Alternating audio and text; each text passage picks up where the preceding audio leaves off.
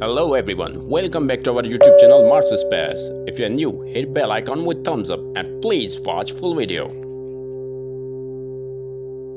These images captured on Mars on 19 December 2021 Solar Martian Day 3331 photos taken by NASA's Mars Curiosity rover.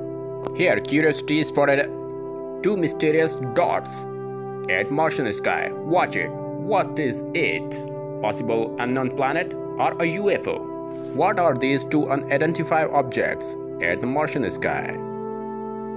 Watch another dot, maybe a spaceship of Martians? What do you think? Let me know.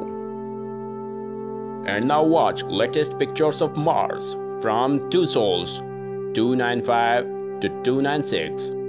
Photos captured by NASA's Mars Perseverance rover using its left navcam. Navcam is located high on the rover's mast and aids in driving.